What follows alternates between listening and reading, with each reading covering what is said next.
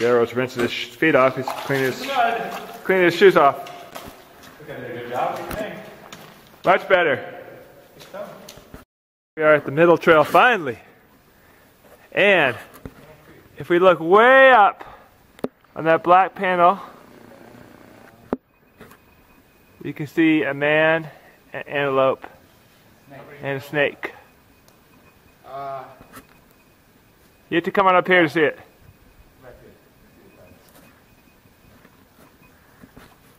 Comes Daryl and Daryl.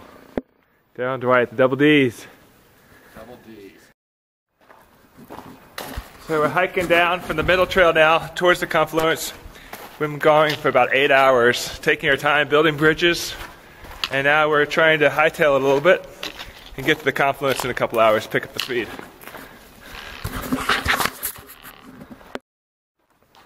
Some more footage as we head south from the middle exit towards the uh, big rock slide or big blockage. We gotta scramble down. Um, Dale and Dwight ahead, and I am taking pictures.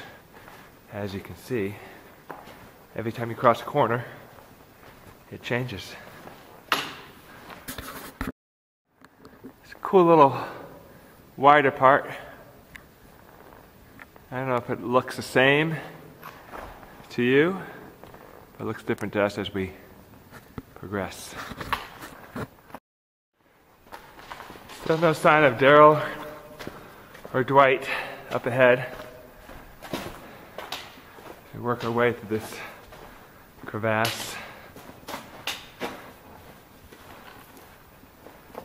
Temperature's really cool in here. Say it's around 55.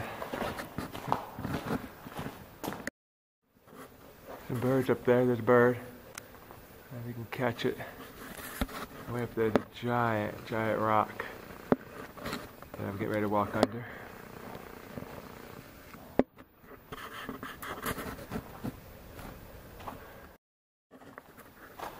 Right here's probably the lowest tree stump we've seen wedged between the canyon floor. We've seen several of these. Most of them 50, 60 feet up, but this one evidently got wedged in here. And you can imagine if there's a flash flood ripping through the canyon and you're in the way, you could end up on the wall too.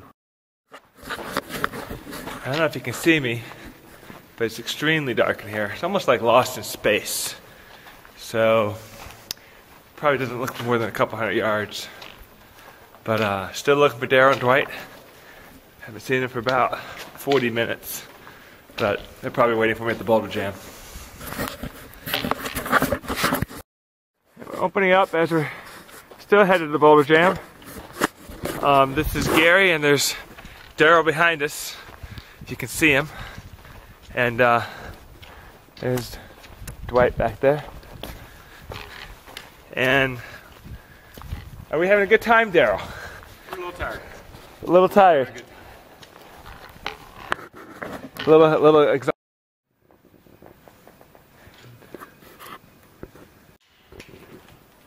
There's a tired Daryl.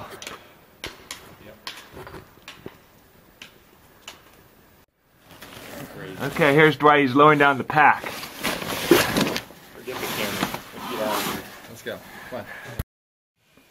Okay. More? No. He's done. Down. He's almost. All right, Daryl. Okay. Wrap it around you.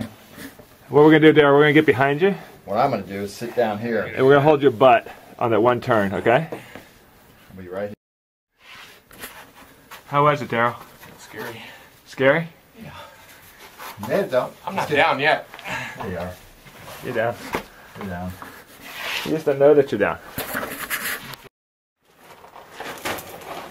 Here comes Dwight through the rabbit hole.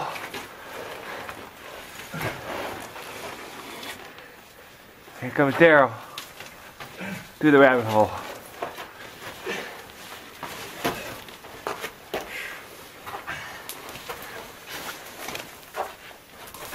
What the hell? What the hell's going on? Fucking leaking all over my ass. It's all messed up. Bring it up top. Okay. Yeah, we don't want to lose any water. Put your put your arm through here. Bring it, yeah, bring it up top. Bring, bring this up top. It is up top, bring it man. up top and, and flip it. It's, it forms a siphon. It starts dripping out. And bring it all the way up top. Up top. Yeah, thanks. Sorry. It's okay. I'm just not sure what up top means. Up top, man. Up top. High five. Huh? High five. Fucking A. Good job, man. That was good. So you may just put this up top? Just flip it on the thing up top, yeah. I can drink it right now. It's all got my back all wet. What'd you think? Sucked. How do you like the travel agent now? I'm not liking it that much. Gary, thank you for all the arrangements. You're welcome. Oh, However, I think I was mentally unprepared for that. Were you? Yeah. And I was mentally unprepared for the cold water. It was cold. Cold water. We thought it felt good. It kept the swelling down in our feet. yeah. yeah. Amazing what happens when you have no blood flow. Looks like a dead end, but nope.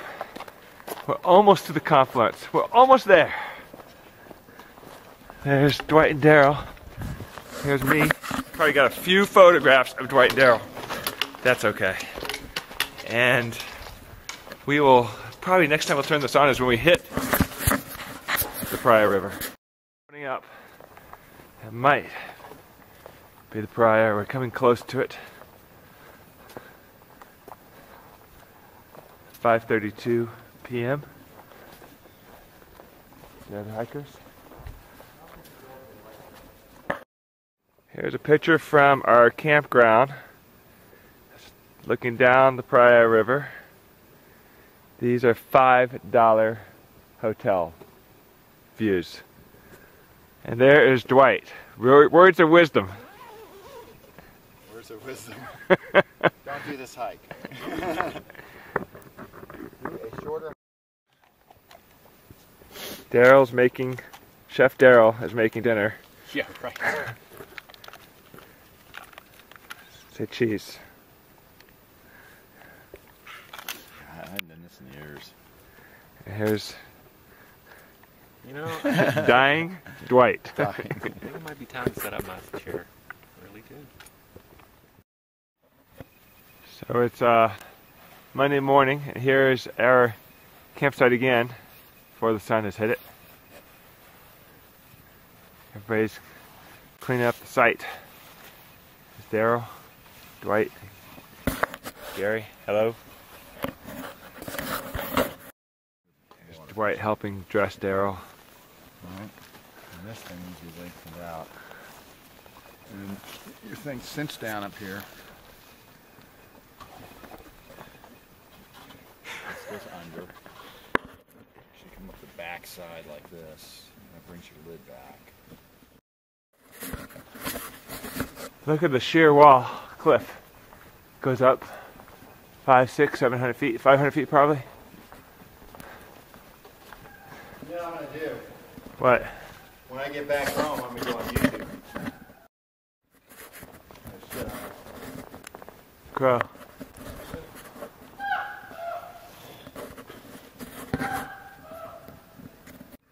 I'm sure it ain't one of those Obama drones following us.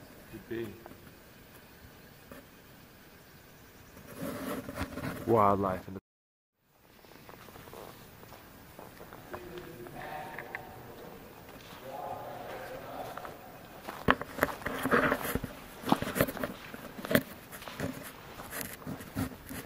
Hiking along Paria River towards the confluence.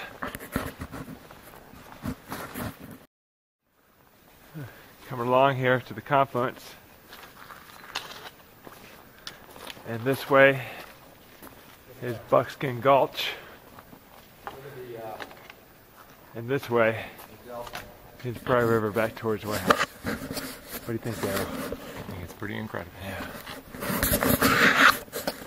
And that way is where we came. So what we call a tripod in geology. Bunch of Japanese tourists taking pictures. Picture! Mm. Sorry, Japanese tourists, if you're watching this YouTube video. And as we continue our hike towards White House on the Paria, you can see just gigantic slabs of rock having eroded out of the out of the uh, mountains.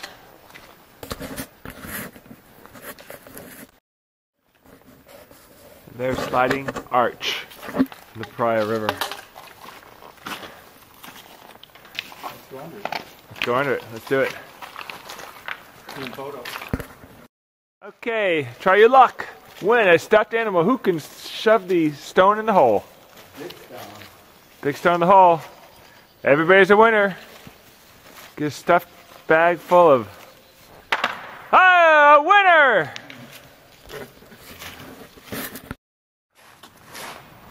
Okay, so we have to slide rock, slide arch. Hiking up. Canyon's a good 100 feet wide. Nice, easy hiking. Nothing compared to yesterday in terms of difficulty. Actually, probably a little prettier because you get a little bit more space to see some stuff. Also closed in. So there's the start of the narrows. It comes out into the not narrows, the wides. And then we've got some water flowing. It looks like they're releasing a dam or there's rain from Kanab as the water briskly comes down. Here we are. Last two miles of the hike. It's opening up, Navajo sandstone, getting wider and wider. There's Dwight. Head. How you doing? Yes, got the hat on.